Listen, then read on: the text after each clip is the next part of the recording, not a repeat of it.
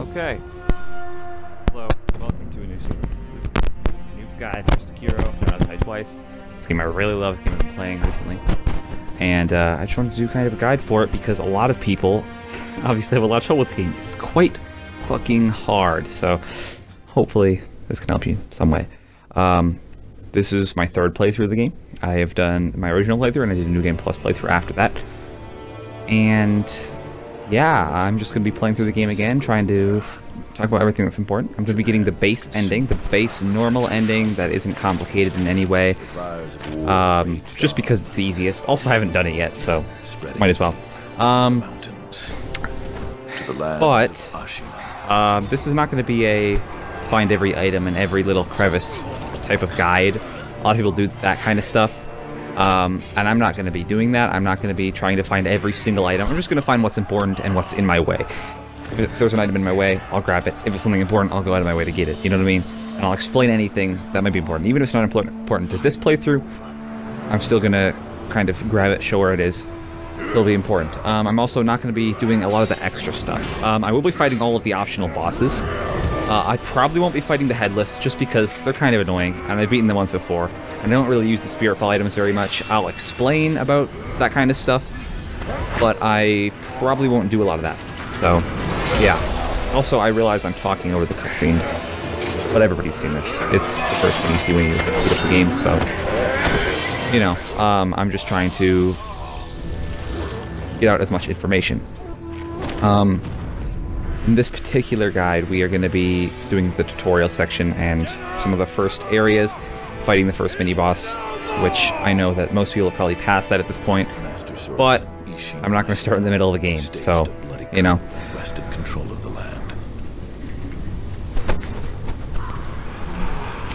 Chinese green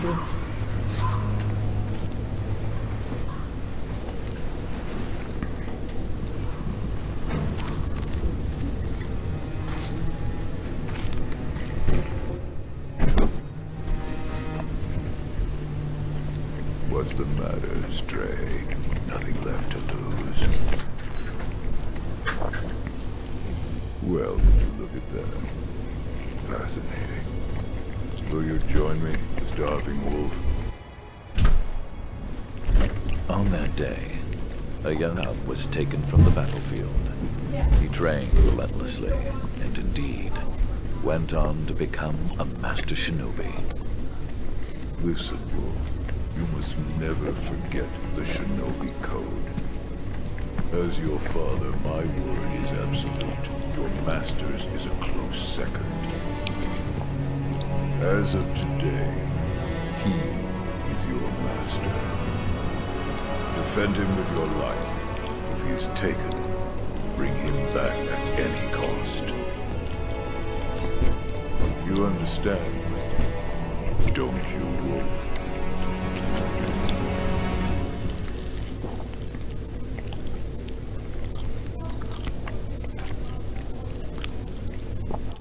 Now, I would like to mention, um, I will be actually skipping most cutscenes or dialogue in the game, uh, and the reason for that is just because some people might have not seen they might be watching the guide before they even go into a new area, try and figure out all the important stuff they need to get there.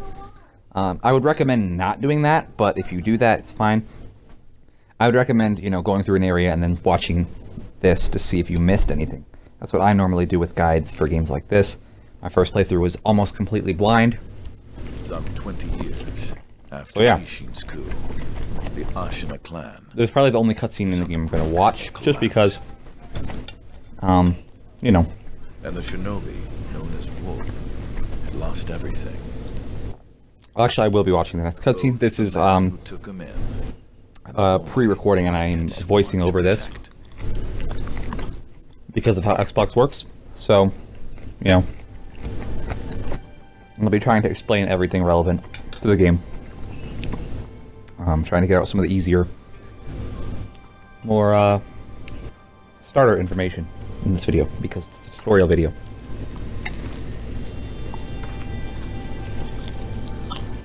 But yeah, basically the story revolves around Kuro, your master, who is the divine heir of the dragon's heritage, has some blood that can resurrect people.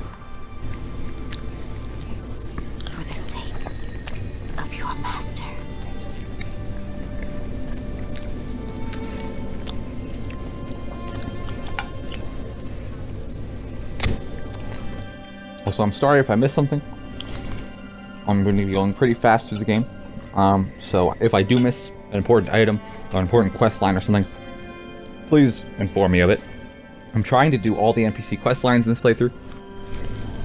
To try to show how to do them. So, yeah. Also, I apologize if it sounds a little weird because I am eating right now.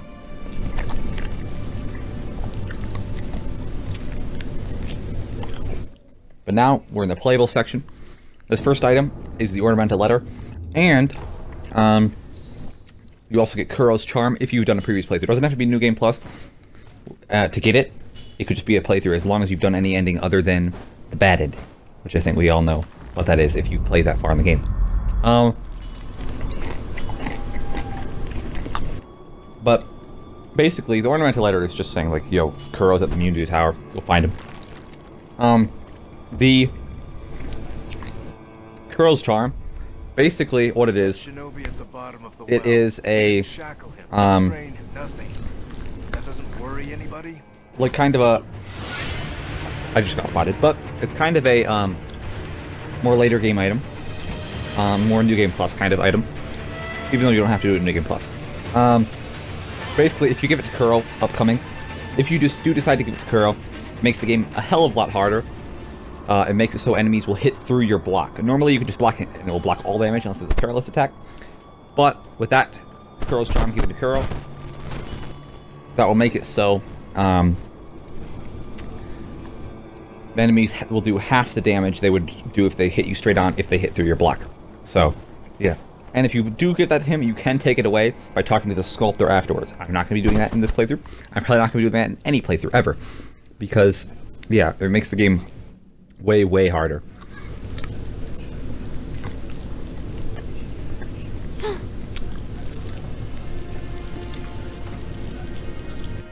Also, I apologize ahead of hand for any technical issues this series has. Xbox's recording feature is extremely broken for recording on the spot. To free you, Um, like recording from now, you know what I mean? So, if anything happens, or if like a certain five minute section or ten minute section gets skipped at some point, that's the reason. Xbox's bullshit ass system. So, Raise your head. we're about to get the sword here though.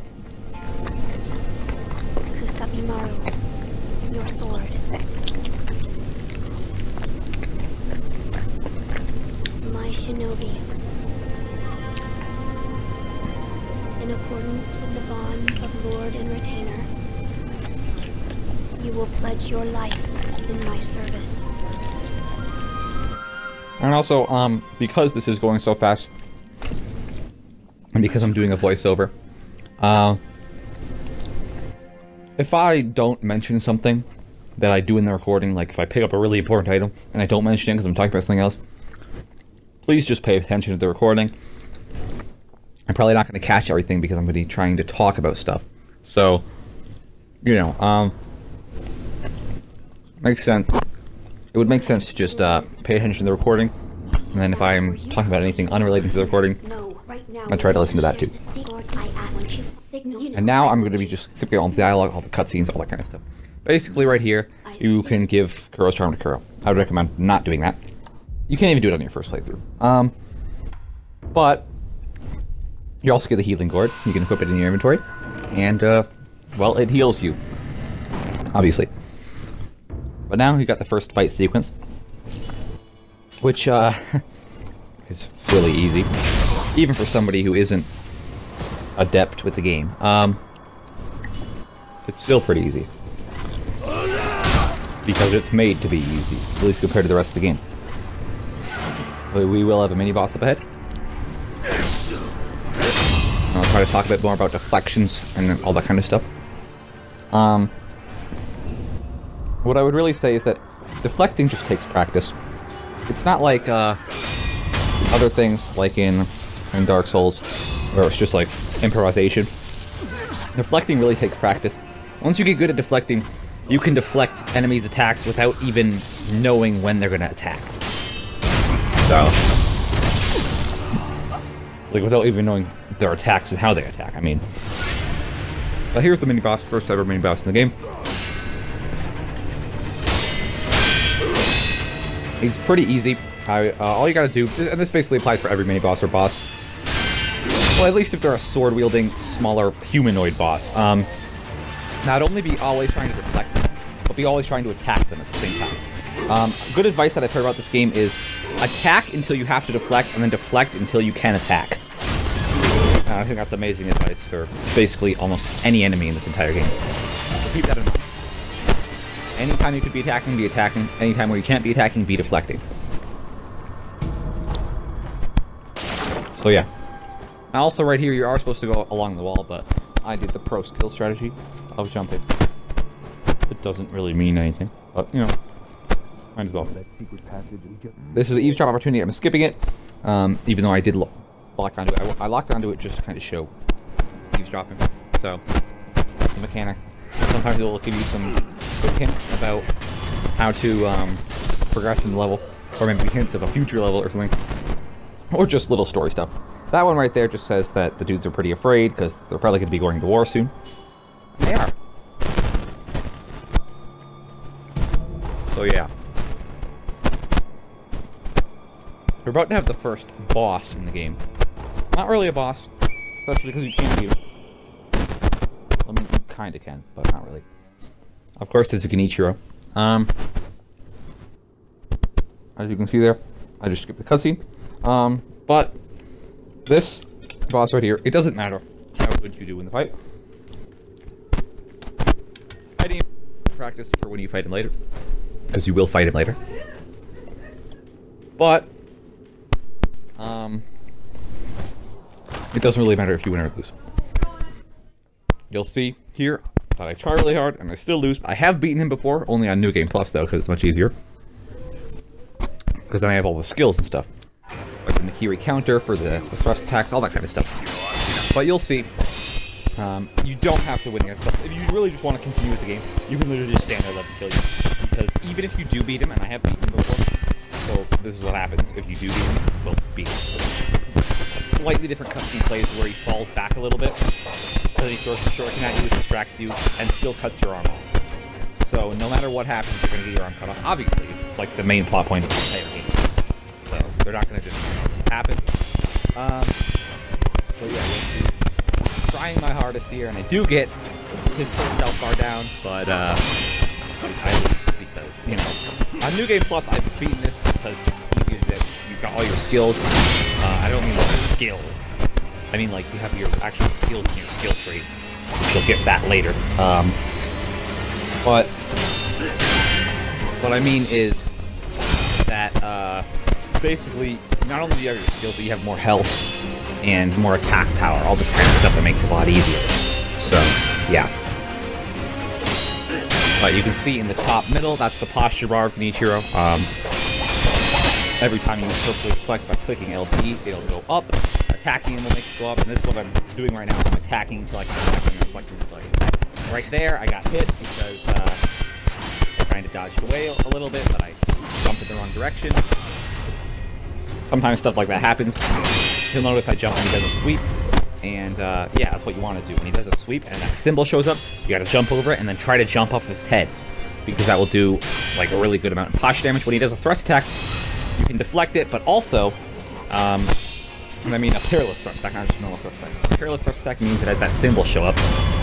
But uh, if you get a perilous thrust attack, you can not only deflect, but once you get a certain skill called the Mikiri counter, you can step on the blade and do a lot of posture damage. It's also pretty easy to do. Right there, you can see I thought it was a sweep because I saw the symbol and he hadn't done the thrust just randomly yet without doing a jump attack.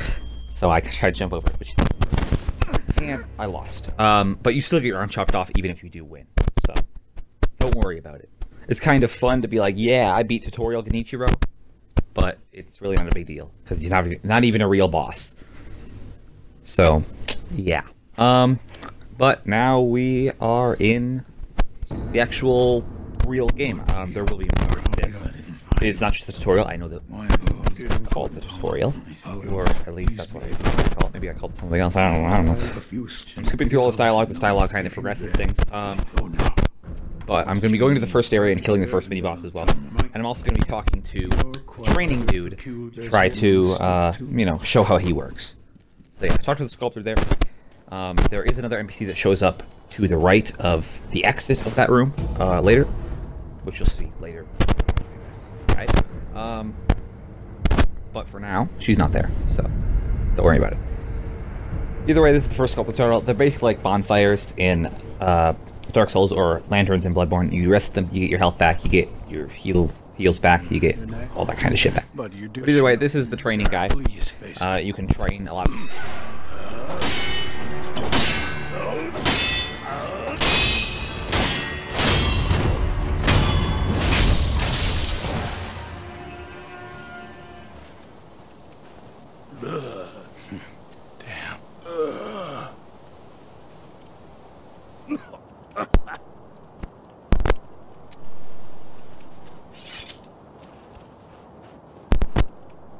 Sort. There was a few. Some other. I can't out, I believe. What the fuck? Seems you say. Why don't you like coming warm now? Very well. Write that, they say. In that case, I stand as your opponent.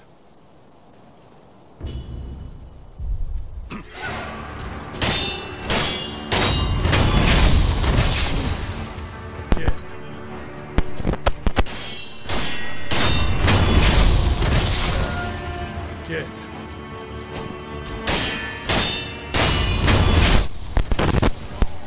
I don't know. Yes. Splendidly done. In that case, I stand. Oh, what? What? Okay, okay. We are back. I, I think my mic just cut out for some reason. Fucking garbage ass bullshit. Either way, this is the training guy. You can train your attacks, your deflections, all that kind of stuff. This is probably the only time in the game I'm going to be training with him because I know how to attack and deflect months. Random bullshit. But if you have trouble with deflections or with like the Mikiri counter when that is unlocked or some more complicated shit after those are unlocked, you can go to him and try to train it. It's very basic, uh, as he'll always constantly do the same move over and over, but it can help in some ways. Um, and yeah, it's kind of just a little training thing that you can do. Kind of fun, I don't know. But that's basically his only purpose. There is a quest relating to him once you get a certain uh, item. Th- Then you can kind of do his quest uh, because he's infested. He's undying. He's, you know, he can't die. Basically, that's kind of the story behind it. Behind him. But now this is the step dodge one where you can dodge. It's you know pretend Dark Souls stuff. Now something to note about the step dodge, and I know a lot of people coming from Dark Souls act like this. A lot of people are going to use the step dodge to try to dodge attacks, and it does get iframes. The jump actually also gets iframes. But the thing is, and if you don't know what iframes are somehow, it's invincibility. It's frames where you're invincible, uh, and you can't get hit, even if an attack goes right through you. But basically, those, I mean, technically you could do it. And for some bigger bosses, that's what you want to do because, you know, it's not about deflecting attacks from that giant boss. It's probably not gonna have their posture break. But for most of the stuff, um, you're not gonna want to step dodge. Uh, at least not to avoid attacks. If you're like, if, if the enemy's about to do a really difficult move that you know you can't deflect, then you could maybe try to dodge away and let them do that move. Or if they have like a certain combo or, or something like that, you're trying to get away from them. The step dodge is about positioning. It's not about trying to avoid the actual attacks. It's about I'm going to get in a certain position where I can avoid the attacks better or where I can attack myself. So, don't use step dodge as trying to dodge attacks. Unless, you know, it's the only real exception to that is bigger bosses, but even then, most of the time I don't use the step dodge. Most of the time I use the sprint, just holding B instead of pressing it. Because the sprint you run insanely fast and you have infinite stamina. So, that's what I normally do. Um but yeah, Come back whenever you like. If you that's the training dude. Um, and we're going to be heading out into the actual first level now. Um, the first level is pretty simple, pretty basic. Um, it just meant to teach you the mechanics of the game. Of course, I got the grappling hook here, teaching you how to use the grappling hook, which I don't think I even need to explain that you have to press LB, or LT. uh, because I don't know how anybody would not know that, especially 'cause if they read the tutorial thing. And also, yeah, I'm skipping a lot of the tutorial stuff. Most of the stuff is because, for most of the time, it's because the tutorial stuff really only shows up in the start of the game. So most of the time, it's stuff people have already seen, uh, and they know how to grapple or whatever. And even if they don't, if it's a, like a later game thing, like you know when you get the ability to dive underwater, then I'll kind of explain it. Because maybe you haven't got to that point yet, and you're using this guy to try and figure out how to get to that point. Yeah, enemy loot, you know, you can do it from far away, hold X, you know, all that kind of stuff. Um, now here we're actually going to go around. You could face them head on, and yeah, they're easy enemies. But if you just started in this game, they might not be easy enemies for you. They might be, you know, hard enemies or average enemies or I don't fucking know. So we're gonna go around and try and get the drop on one of them. So we only have to fight two enemies instead of three. Um, and we're gonna be taking out the gun guy. Now there are guns in this game. People have guns, so stay wary of that. Uh, one thing to know about people with guns or projectiles or shurikens or something like that, anything where they can throw, throw or shoot something at you, um, is that don't jump around them because if they hit you with a shuriken or with a, a blade or whatever they throw or shoot at you while you're in the air, it will do. I don't know exactly how much damage compared to normal, but it's like probably at least double damage, and it also destroys your posture. So seriously, don't do that. Do not jump around projectile throwing or shooting enemies.